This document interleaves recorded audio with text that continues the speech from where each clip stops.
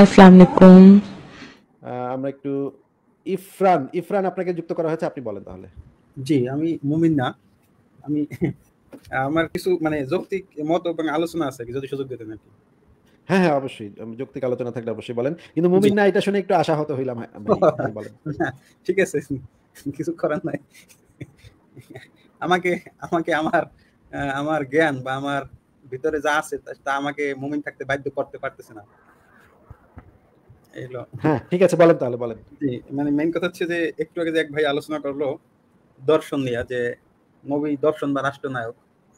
তো ওখানে ওনার উনি বলতে চাচ্ছিল যে যে সে যদি এমন না হতো তার যদি দর্শনই না থাকতো তাহলে কীভাবে একটা ধর্ম সারা পৃথিবীতে দুশো কোটি মানুষ মানে মানে এটার ভিতরে আছে। তো এবং এই এই যুক্তিটা কিন্তু অনেক মোমিনদের অনেক মোমিনদের এই যুক্তি। এখন কথা হচ্ছে যে, যেমন আপনিও একটু আগে ব্যাখ্যা দিচ্ছেন যে, সে লোভ দেখাইছে, জান্নাতের লোভ বা তলোয়ারের ভয়, দুইটাই সত্য। কিন্তু মাঝখানে আর একটা জায়গা আছে। যেমন ধরেন সে, আমি কিন্তু থাকতে পারিনি, আমি কিন্তু বের হয়ে গেছি বাট আমি প্রকাশ করতে পারতেছি না। ঠিক একইভাবে আপনি বের হয়ে গেছেন, আপনি হয়তো বা এখন আপনারও যেমন জীবনের ভয় ছিল, তারপরও বের হয়ে গেছেন, এখন দেশের বাহিরে আছেন। কিন্তু অনেক মানুষই এই জিনিসটা উপলব্ধি করতেছে, কিন্তু তারা এটার ভিতরে থাকতেছে। মানে এটাকে আঁকড়ে ধরে থাকতেছে। মানে সে, আমার প্রশ্নটি হচ্ছে যে মানে কেন থাকতেছে? মানে ধরেন যে কেউ ভয়ে ঢুকলো কেউ বেস্তের ভয়ে ঢুকলো সবকিছু মিলে গিয়ে ঢুকে তারপরও কেন এত সংখ্যক লোক আছে? এইটার কি কোনো যৌক্তিক ব্যাখ্যা দিতে পারেন? এটা তো ভাই অনেক ধরনের কারণে থাকতে পারে। এটা নানা ধরনের কারণ থাকতে পারে। বেশিরভাগ মানুষ যেটা হয় যে ছোটবেলা থেকে শিখে শিখে বড় হয় যে এটা গুলোই সত্য এগুলো সত্য। বেশিরভাগ মানুষকে এইভাবেই বড় করে তোলা হয় যেন তারা আর এই জিনিসটাকে যাচাই করার চেষ্টাটা না করে হ্যাঁ? যাচাই করার যে প্রসিডিউর যাচাই করার যে শিক্ষাটা সেই শিক্ষাটাই ছোটবেলা থেকে দেওয়া হয় না। সুতরাং তারা যখনই মনে করে যে এটা যেহেতু ধর্ম সেহেতু এটা নিয়ে এত বেশি নাড়াচাড়া ঘাটাঘাটি করা যাবে না হ্যাঁ? এটা হচ্ছে খুবই সেন্সিটিভ ছোটবেলা থেকেই তাদেরকে শিখা দেওয়া হয় এটা হচ্ছে খুবই সেন্সিটিভ তারা একই সাথে মনে করেন একটা মুসলিম পরিবারে জন্ম নিচ্ছে সেই ছেলেটা হিন্দু ধর্মের কোনো গল্প শুনলে তখন কিন্তু সে ঠিকই যুক্তি দিয়ে চিন্তা ভাবনা করা শুরু করে। আর হনুমান নাকি সূর্যরা খেয়াল আছে দেখছ? কি হাস্যকর কি হাস্যকর ধর্ম। আবার মানে গণেশের মাথা নাকি হাতির। কি হাস্যকর কি হাস্যকর। কিন্তু যখনই তাকে বলা হয় যে ভাই তোমার নবী নাকি চারজন দুই ভাগ করছে তখন তার হাসিটা উড়ে যায়। তখন সে বলে না না না এগুলো মজেজা এগুলো এগুলো মানে আমার নবী পারে এগুলো আমার নবী পারতো আল্লাহর ক্ষমতা এগুলো পারতো। এগুলো মানুষ বুঝতে পারবে না এগুলো গাইবী বিষয়। হ্যাঁ এগুলো আল্লাহ আল্লাহ ভালো বুঝে এগুলা। এই যে ছোটবেলা থেকে এই জিনিসটা শিক্ষা দিয়ে দিয়ে তাদেরকে এই পরিবেশে তাদেরকে বড় করে তোলা হয়তো তারা নিজের ধর্মটাকে আর কোশ্চেন করাটার যে কালচারটা সেই কালচারটাই তো নাই। কালচার কালচারটা না থাকার কারণে বেশিরভাগ বাচ্চাই যেটা হয়, এই ধারণাটা, এবং একটা বাচ্চাকে যখন ছোটবেলা থেকে এইভাবেই বড় করা হবে সেইভাবেই আসলে বেড়ে ওঠে। এবং এটার পেছনে আরেকটা গুরুত্বপূর্ণ মানে ব্যাপারও হচ্ছে মানুষের মস্তিষ্ক কীভাবে কাজ করে। কগনিটিভ বায়াস কাকে বলে? কগনিটিভ বায়াস কি? কগনিটিভ বায়াস কাকে বলে? এই জিনিসটা আমরা অনেকবার আমাদের লাইভে আলোচনা করেছি, যে মানুষ আসলে নিজেদের বিশ্বাসটাকে আসলে টিকায় রাখতে চায়। মানুষের একটা টেন্ডেন্সি হচ্ছে নিজের বিশ্বাসটাকে টিকায় রাখা। কোনো না কোনো ভাবে কোনো না কোনো চিপাগুলি দিয়ে একটা ওয়ে খুঁজে বের করা যেটা দিয়ে সে তার নিজের বিশ্বাসটাকে টিকায় রাখতে পারবে। নিজের বিশ্বাসটাকে টিকে থাকলে সে এক ধরনের মানসিক স্বস্তি লাভ করে। সে একটা রিলিফ পায় সে একটা তার কিছু হরমোন নিঃসরণ হয় সে একটু মানে বেটার ফিল করে সুখবোধ করে। কিন্তু নিজের বিশ্বাসের বিপরীতে যখন কোনো তথ্য প্রমাণ তার কাছে আসে তখন তার মস্তিষ্কে এক ধরনের যাতনা তৈরি হয় এক ধরনের যন্ত্রণা তৈরি হয়। সে তার কিছু মিসফাংশন শুরু হয় তার শরীরের ভিতরে তার ব্রেনের ভিতরে। এই কারণে সে এই জিনিসটাকে সহ্য করতে পারে না। তার বিশ্বাসের বিপরীতে যখনই কিছু যাচ্ছে তখন সে সেই জিনিসটাকে ভালোভাবে নিতে নিতে পারে না। বেশিরভাগ মানুষই এই যাতনাটা, মস্তিষ্কের ভেতরে এই যে প্রেশারটা এই প্রেশারটা নিতে চায় না। এটা থেকে এড়ায় যেতে চায় হ্যাঁ? যখনই সে টের পায় যে এখানে একটা সমস্যা আছে, তখনই সেই জিনিসটাকে এড়ায় যায়। এবং সে নিজেকে নিজে বুঝ দেওয়ার জন্য নানা কল্পকাহিনী, নানা জিনিস তৈরি করে। এই কমিউনিটিভ বায়াস কি সেটা নিয়ে আমাদের আগেও আলোচনা হয়েছে, ভবিষ্যতে আমরা আলোচনা করব। এখন আর আলোচনা করছি না, কারণ দীর্ঘ হয়ে যাবে। এগুলো হচ্ছে বেশিরভাগ মানুষের ক্ষেত্রে। আরেক ধরনের মানুষ আছে যারা হচ্ছে এই জিনিসটাকে ব্যবসা হিসেবে নেয়। ব্যবসা হিসেবে নিয়ে মনে করে এটা তো আমাদের রুটি রুজির ব্যাপার। এটার সাথে তো এটা এটারে তো লাথি মারানো যাবে না। আমি মনে করেন একজন ওয়াজকারী সে যতই বুঝুক যে এগুলো ভুয়া কিন্তু সে কখনো এটা মানবে না। কারণ এটা তার পেটের ব্যাপার। পেট চলে আমার ধর্ম ব্যবসা করে আমার পেট চলে। আমার আল্লাহ খাওয়াইতেছে। এটা সে যদি বোঝেও তাহলে সেটা ছাড়বে না। আবার আরেক ক্যাটাগরির মানুষ আছে যারা মনে করে যে যেহেতু আমরা এত কিছু জানি না এত কিছু বুঝি না এত কিছু বোঝার দরকারও নেই যেটা আছে সেটাই ভালো। এরকম নানা ক্যাটাগরির মানুষ নানা কারণে ধর্ম বিশ্বাসটাকে টিকায় রাখতে চায়। এটার একটা স্পেসিফিক কোনো কারণ নাই যে এই কারণে মানুষ ইয়া করে। এটা নানাবিধ কারণ আছে। কেউ আবার করে জান্নাতের লোভে, কেউ করে জাহান নামের ভয়ে, কেউ করে হচ্ছে গিয়ে মনে করেন আমাদের কেউ কেউ মনে করে যে এটা আমাদের আইডেন্টিটির অংশ, অস্তিত্বের অংশ আমাদের। আমরা মুসলিম জাতি। এটা অনেকে মনে করে যে আমরা যেহেতু মুসলিম জাতি আহ আমাদের জাতি যেরকমই হোক না কেন, আমাদের জাতিতে যাই থাকুক না কেন, এটাই তো আমরাই তো এটা, আমরা আমরাই তো। একটা একাত্ম বোধ করে। এইটা এইটাও একটা কারণ হ্যাঁ? এই বিষয়ে মানে অনেকগুলা সাইকোলজিক্যাল গবেষণাও হয়েছিল মানুষ ধর্ম বিশ্বাসটাকে আঁকড়ে ধরতে চায় কেন? এটা নানা অনেকগুলো কারণই বের হয়েছে। আসলে স্পেসিফিক সেরকম কোনো কারণ নেই। ফারাজ ভাই কি কিছু বলবেন? ভাই আপনি তো সব বলে দিচ্ছেন তো আলাদা কিছু বলার নাই। সবগুলো তো কভার করেই ফেলছেন ভাই। আচ্ছা দিনদা ভাই আপনি কি কিছু বলবেন এই বিষয়ে? আমি একটু অ্যাড করতে পারি সেটা হচ্ছে যে কনফার্মেশন বায়াসটা কগনিটিভ বায়াসেরই একটা পার্ট তো এটা হচ্ছে অনেকটা ইনহেরিটও বলা যায় ছোটবেলা থেকেই। ছোটোবেলা থেকে বলতেছি সরি এটা এটা হচ্ছে ইনহেরিটেড মানে আমাদের পূর্বপুরুষ থেকে আমরা পাইছি। অনেক সময় হচ্ছে এটার ভালো দিকও আছে, খারাপ দিকও আছে। খারাপ দিকটা হচ্ছে যে আপনি সবসময় যদি এটা অ্যাপ্লাই করতে থাকেন, তাহলে আপনার আপনার মানে যুক্তিযুক্ত চিন্তাভাবনা আস্তে আস্তে লোপ পাবে। আর এটার একটা সুবিধা হলো যে কনফার্মেশন বায়াস অনেক সময় আপনার খুব কুইক ডিসিশন যখন আপনি আসলে কোনো চিন্তা করার সুযোগ পাচ্ছেন না, তখন হচ্ছে যে আপনার কোনো একটা কিছু করতে হবে, আপনার অজান্তে কোনো একটা কিছু করে ফেলে, যদি আপনি বেঁচে যান সেখান থেকে, তাহলে বেঁচেই গেলেন, ঠিক আছে? এটা হচ্ছে মানে আমরা ইনহেরিট করছি আমাদের পূর্বপুরুষ থেকে। মানে ওই সময় অনেক সময় মানুষকে ধরেন বনে জঙ্গলে বসবাস করতে হতো, তারা হচ্ছে অনেকটা এরকম বায়াস ছিল যে আমার এরকম একটা বিপদ হলে কোনো কিছু ছাড়াই মানে অন্ধের মতো আমার এই দিকে দৌড় দিতে হবে বা ওই দিকে দৌড় দিতে হবে বা এই কাজটা করতে হবে, করলে আমি বেঁচে যাব, ঠিক আছে?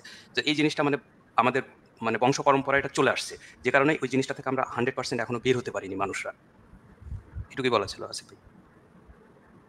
হ্যাঁ অত্যন্ত জরুরি একটা কথা বলেছেন যে বিবর্তনের একটা মানে ব্যাপারও এটার সাথে জড়িত। যে এই কগনিটিভ বায়াস আমাদের অনেক হেল্প করেছে আমাদের টিকে থাকার ক্ষেত্রে অনেক হেল্প করেছে। কিন্তু এখন যেটা দেখা যাচ্ছে যে এখন এটা আমাদের জন্য আসলে বিপজ্জনক হয়ে বিপজ্জনক হয়ে ওঠে মাঝে মাঝে। আর ওই যে স্ট্রেসের কথা বললেন এটাও একটা খুব দারুণ একটা জিনিস যে আসলে আমাদের ব্রেন স্ট্রেস নিতে চায় না। এটা একটা টেট টেকটকে একদিন একটা শো দেখতেছিলাম এরকম একজন একজন ব্যক্তি। তার নিজের ব্যক্তিগত জীবন নিয়ে মানে বলতেছিলেন যে তার ওয়াইফের কোনো একটা অপারেশনের দরকার। তো সেই অপারেশনের ওটিতে নেওয়ার পরে ডাক্তার তাকে জিজ্ঞেস করছে যে এতগুলো প্রসিডিউর আছে আমরা কোন প্রসিডিউরে আগাবো? আপনি যদি একটু মানে মতামত দিতেন। তো সেই লোক বলতেছে যে আমি যখন মতামত, ওই প্রসিডিউরগুলো নিয়ে স্টাডি শুরু করলাম, তখন আমি একটা স্ট্রেস ফিল করা শুরু করলাম। তো এরপরে আমি করলাম কি যে ডাক্তারের সাথে কথা বলে বললাম যে, দেখেন, আপনি তো আমার চেয়ে বেশি ভালো বুঝেন। তো যেটা সবচেয়ে বেস্ট প্রসিডিওর হয়, আপনি সেটাই করেন। তো এই কাজটা যখন সে করল, সাথে সাথে সেই লোকটা কিন্তু আপনার স্ট্রেস থেকে রিলিফ হয়ে গেল। কারণ সে এখন আর ওই চিন্তার মধ্যে নাই। সে পুরোপুরি ডাক্তারের উপরে বিশ্বাস করে, ডাক্তারের উপরেই সবকিছু ছেড়ে দিছে। তো মানুষের হচ্ছে এটা একটা সহজাত মানে বৈশিষ্ট্য যে, সে হচ্ছে স্ট্রেস নিতে চায় না। স্ট্রেসটাকে সবসময় অ্যাভয়েড করতে চায়। হ্যাঁ ভাই?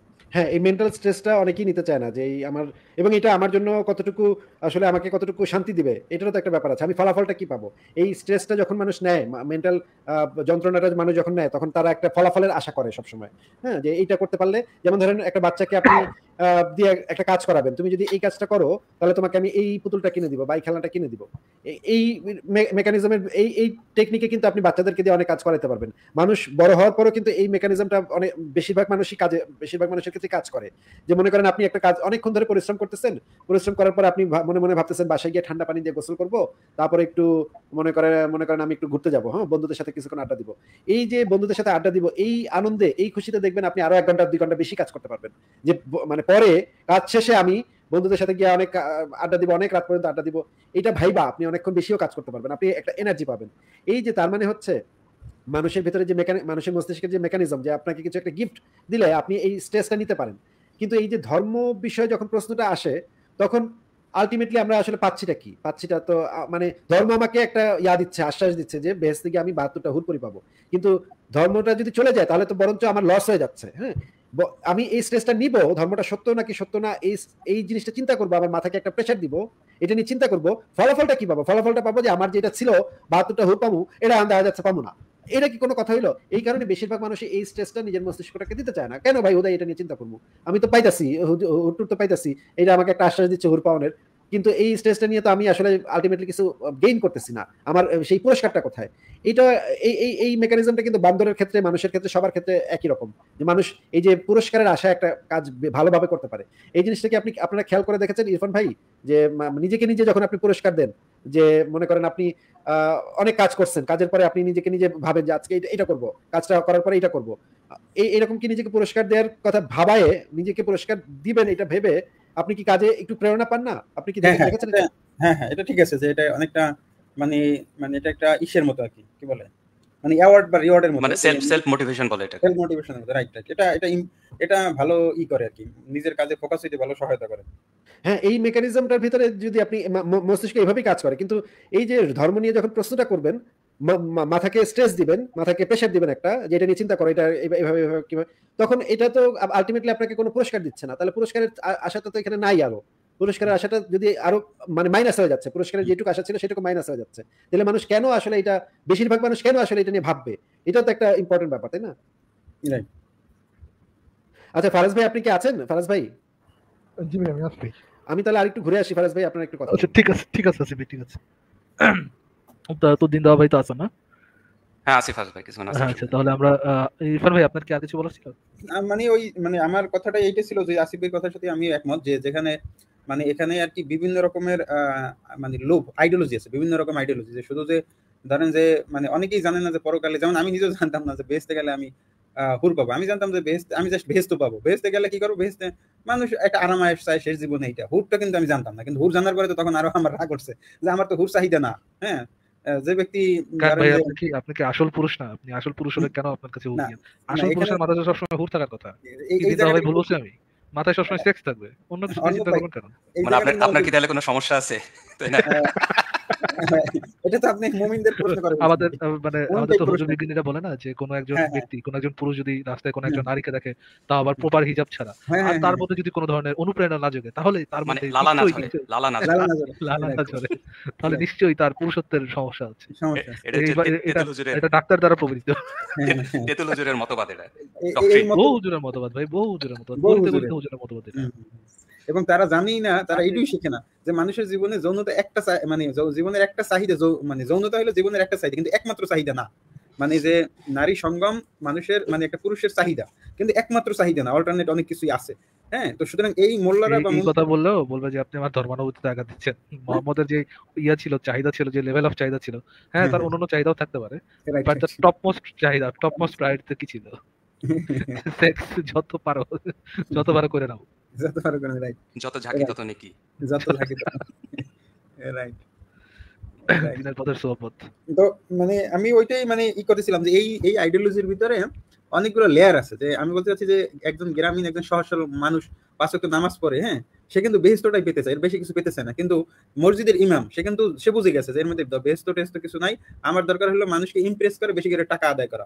একজন ওয়াজি সে বুঝে গেছে যে আমি যদি মানুষকে ধর্মান্ধ বানাইতে পারি দেখবেন যে কোনো ওয়াজি কিন্তু তারা মানে দেখবেন যে এই যে ধরেন আপনারা যে বইগুলো আলোচনা করেন যে বইগুলো বিভিন্ন বোখারি শরীফ বা মুসলিম বা এই কি মিতি যত বই এই বইগুলো কিন্তু আমার জীবনে আমি কখনো হুজুরদের মুখ থেকে ইয়া, ইরফান ভাই এটা এটা মনে হয় আপনি একটু ভুল ধারণা। তারা এটা নিয়ে আলোচনা করে না বা করতে চায় না এরকমটা না। তারা নিজেরা জানে যে কখন এটা নিয়ে আলোচনা করতে হবে। এই যে ট্রিক্সের কথা বলতেছেন এই ট্রিক্সটা হচ্ছে ইসলামেরই পার্ট। একেবারে ইসলামের পার্ট যে যখন আপনার কাছে পাওয়ার থাকবে না তখন আপনি কীভাবে কথা বলবেন? যখন আপনার কাছে পাওয়ার থাকবে টু ডিফেন্ড ইউর সেলফ আপনি যারা ডিফেন্ড করতে পারবেন তখন আপনি কীভাবে কথা বলতে পারবেন কীভাবে কথা বলবেন? এবং যখন আপনার কাছে ওরকম শক্তি সামর্থ্য হবে যে আপনি অ্যাটাক করতে পারবেন তখন আপনার টোন কীরকম হবে? এই জিনিসটা মানে খুব এই জিনিসটা একেবারে ইসলামেরই পার্ট এবং এটা খুব ভালোভাবে মোহাম্মদ নিজেই অ্যাপ্লাই করে গেছে। সো এটা এই ট্রিক্সগুলা তাদের আগে থেকেই জানা যে কখন ভিকটিম রোল প্লে করতে হবে আর কখন অন্যকে ভিকটিম বানাইতে হবে। এই জিনিস এই জিনিসগুলো তাদের আগে থেকে জানা আছে। অন্য ভাই, আমার প্রশ্নটা হলো এটা এই যে ভিকটিম রোল প্লে করা ভিকটিম বানানো এই কৌশলটা ইসলামের মধ্যে অন্তর্নিহিত আছে। এখন হ্যাঁ হ্যাঁ এখন আমার প্রশ্ন আমার প্রশ্ন এটা যে এই রোলটা যারা মানে এই ধর্মের মধ্যে এই রোলটা যারা ইম্পোজ করছে বা এই- লেয়ারগুলো যে বসাইছে হ্যাঁ যেমন তাকিয়াবাজি করা অমুক করা সমুক করা এই ধরনের যে কৌশলগুলা হ্যাঁ এই যারা বসাইছে আপনি আমি যদি ধরে নিই যে আমাদের কথা মতো আমরা বুঝে নিলাম এটা নবী মোহাম্মদ বসাইছে। তার মানে এই জায়গাটা কিন্তু নবী মোহাম্মদ চালাচ্ছিল এই জায়গাটাই হ্যাঁ, কিন্তু সে- হ্যাঁ এটা তো অবশ্যই মানে ক্ষেত্রে তো অবশ্যই চালাচ্ছিল সেটা তো হ্যাঁ এবং এই আইডিওলজিটার কারণে কিন্তু ইসলাম ধর্মটা টিকে গেছে অনেকগুলোই কারণ থাকতে পারে বাট হ্যাঁ এটা হ্যাঁ। এটা একটা কারণ অনেকগুলো কারণ। ধন্যবাদ মানে আমার এই আরও টুকটাক জ্ঞান বুদ্ধি মাথায় আসে আর কি শুনি আপনাদের আলোচনা ভাববেন ভাববেন যদি এইগুলো নিয়ে আলো মানে আপনি যে কোনো একটা বিষয় নিয়ে যত বেশি ভাববেন। আপনি এমন কিছু ভাবেন যে জিনিসটা হয়তো বা ওটা নিয়ে যতই গবেষণা হোক হয়তো বা অন্য কেউ জিনিসটা ভাবেনি অন্য কেউ ওই জিনিসটা ওইভাবে চিন্তা করে নাই নতুন কিছু আপনি পেতেই পারেন। তো যদি আপনি চান এটা নিয়ে চিন্তা করার ভাবার তাহলে ভাববেন। আর- যে যে ভাববেন পড়বেন নতুন নতুন অনেক কিছু আপনি ডিসকভার করতে পারবেন। ই- ই- ভাই। ইরফান ভাই আপনাকে আরেকটা কথা বলি সেটা হচ্ছে যে আপনি কি এই জিনিসটা দেখছেন কখনো আপনার কোনো বন্ধু বান্ধব বা কারোর মধ্যে যে হাইপোফোবিয়া মানে উঁচু জায়গা থেকে সে নিচে তাকাইতে পারে না? উম, আমার কাছাকাছি মানে সবাই তার উঁচুতে উঠে না। আচ্ছা এরকম দেখা এরকম। অনেকের মধ্যে আছে। আমি এরকম অনেককেই পাইছি যারা বুঝতেছে যে এই জায়গা থেকে সে কোনোভাবেই পড়বে না। ধরেন দশতলা বিল্ডিং এর উপরে উঠল জানালার ধারে সে যাবেই না। আপনি কোনোভাবেই নিয়ে যেতে পারবেন না। তার মধ্যে একটা মানে আতঙ্ক একটা ভয় কাজ করে। কোনোভাবেই তাকে আপনি বুঝাইতে পারবেন না যে এটা একটা শক্তিশালী বিল্ডিং এমনকি ভূমিকম্প ধসে পড়বে না। আচ্ছা, তারপরেও সে দেখতে পারে জি ভাই আমি একটু আমার নিজে এই আমি পাইছি। এইমাত্র মনে পড়ছে। আমার আপন চাচি একদম অনেক বিরুদ্ধ অনেক আগের আমলের মানুষ। তো আমি আহ, একটা ইসে মানে আমি অসুস্থ ছিলাম। তো একটা সে আমাকে দেখতে আসছে ক্লিনিকে। তো ক্লিনিকের ছাদে উঠছে আমি তো ক্লিনিকের সাইডে মানে ছাদে সাইডে আর কি বসা আর কি। অসুস্থ আমার পা মানে ই ই ছিল সমস্যা ছিল আমি বসা। তো সে মানে সিঁড়ি দিয়ে উঠে আমার কাছে ছাদের মাছ বরাবর হেঁটে যাচ্ছে আর সে দুই হাত দিয়ে নিজেকে ব্যালেন্সে রাখার চেষ্টা করতেছে। যে ওরে বাবারে সে মনে হচ্ছে যে ছাদ দিয়ে তাকে উড়াল দিয়ে কেউ ফালাই দেবে এরকম হ্যাঁ। হ্যাঁ তো এই এই ফিয়ারনেসটা অনেক অনেকটা আপনার মানে ব্রেনেরই ইনফ্লুয়েন্স ঠিক আছে? তো এরকম হচ্ছে যে আমাদের বেশিরভাগ মানুষই যারা হচ্ছে যে দর্শন বা এগুলো নিয়ে হচ্ছে যে আলোচনা বা যুক্তিবিদ্যা চর্চা করে না, তাদের মধ্যে এই ডেথ অফ ফিয়ার এই জিনিসটা হচ্ছে প্রবল মাত্রায় থাকে। হ্যাঁ সবারই একটা সবাই তো চায় না সবাই তো লাইফের একটা ইন্স্যুরেন্স চায় না যে আমি মরার পরে একটা ভালো জায়গায় থাকব আর কত স্ট্রেস নিবো আর কত কষ্ট করব। তো এই জিনিসটা থেকে বাইর হয়ে আসতে হলে তাকে হচ্ছে যুক্তির উপরে নির্ভর করতে হবে যে সে আসলে কিসের কিসের ভরসায় থাকতেছে কিসের উপর ভরসা করে সে মানে কি এই বিশ্বাসটা করবে। তো এই। ডেট অফ ফিয়ারটা বা মৃত্যু ভয় এই জিনিসটা হচ্ছে মানে এটা একটা মানুষের সহজাত প্রবৃত্ত। যে কারণেই মানুষ মানে কি অন্ধের মতো অনেক কিছুকে বিশ্বাস করে নেই ফিয়ার অফ ডেথ সরি হ্যাঁ ফিয়ার অফ ডেথ আচ্ছা ইরফান ভাই তাহলে আজকে আপনাকে বিদায় জানাই জি। জি থ্যাংক ইউ আচ্ছা ঠিক আছে ভালো থাকেন